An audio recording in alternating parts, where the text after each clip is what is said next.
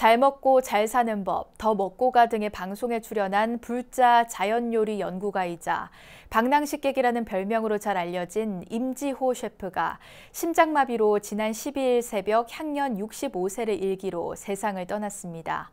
임지호 씨는 지난 4월까지 방송에 출연하는 등 활발한 활동을 했지만 갑작스런 사망 소식으로 주위를 안타깝게 했습니다.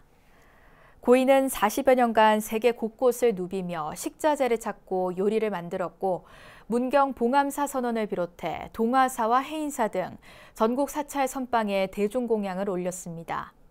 지난해 10월에는 임지호 셰프가 생리별한 친어머니와 양어머니 등을 그리며 108가지 요리를 만들어 나가는 영화 밥정이 개봉돼 잔잔한 감동을 선사하기도 했습니다.